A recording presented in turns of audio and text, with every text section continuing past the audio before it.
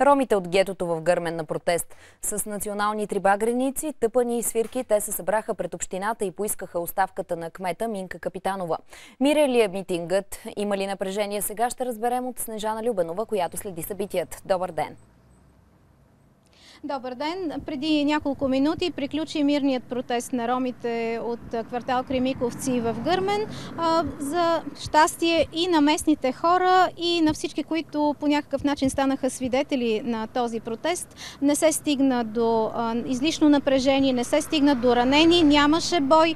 Ромите а, сериозно и а, много неотклонно в позицията си за това, че искат а, да останат да живеят в квартала и домовете им, които са построени в рамките на последните 20 години, желаят да бъдат узаконени, а багерите да спрат да влизат в мястото, където са родили децата си и са създали семейства. Това казаха большинството от тях. Още от рано сутринта започнаха подготовките за протеста за който нямаше иначе разрешение от общината да се състои, но въпреки това хората от махалата стигнаха до пътя, на който се намирам и аз в момента, който до преди няколко минути беше и сериозно охраняван от жандармерия.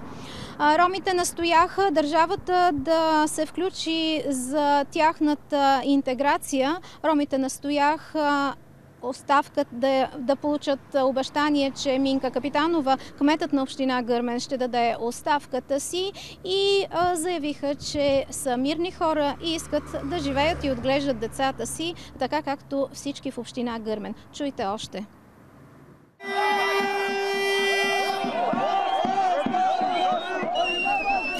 Не го правиме против гърмените. Ние си уважаваме гърмените, искаме да си сме както сме били преди. Това го правиме против общината, да ни обръща внимание, да ни озакони местата, да си имаме право да строиме нови сгради, да не сме отвънка. Утре чакаме от цялата страна подкрепа от роми 10 000 роми. Ако трябва да подкрепят много роми от цяла България. Правата си искаме да не ни съборят къщите. Децата да ни учат. Да ги закониме. Да ги закониме, да си плащаме всичко какво трябва на къщите.